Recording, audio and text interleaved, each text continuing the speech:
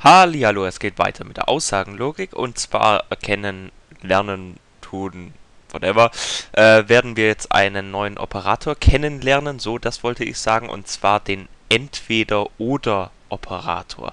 Genannt wird der auch gerne Exklusiv-Oder und der sieht so aus. Äh, ja, wenn jetzt so.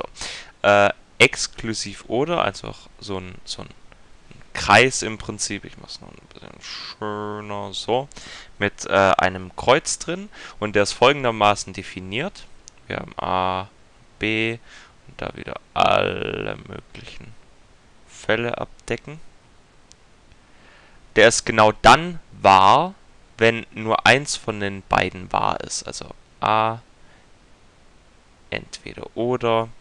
B ist hier nicht wahr da ist nur eins von beiden wahr, also es ist wahr. Hier ist auch nur eins von beiden wahr, also es ist wahr. Hier sind aber beide wahr, deswegen ist es falsch. Wofür braucht man jetzt bitte diesen Operator? Der Operator ist häufig äh, näher an der Realität. Also stellt euch mal vor, ihr sitzt in einem Auto und fahrt jetzt entweder links oder rechts. Ja, es macht keinen Sinn beides. Also er fährt links und rechts, dann würde sich das Auto in der Mitte aufteilen und es ist einfach in der Realität nicht so unbedingt leicht möglich. Also gut, wenn eine Kreissäge im Beton unten ist, vielleicht. Aber wofür will man das?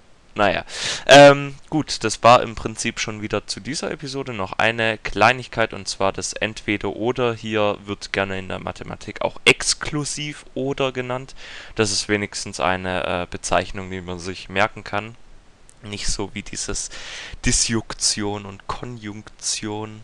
Nee, Konjunktion, genau. Äh, ja, also wenn ihr da exklusiv oder lest, dann wisst ihr, was gemeint ist. Bis zum nächsten Mal.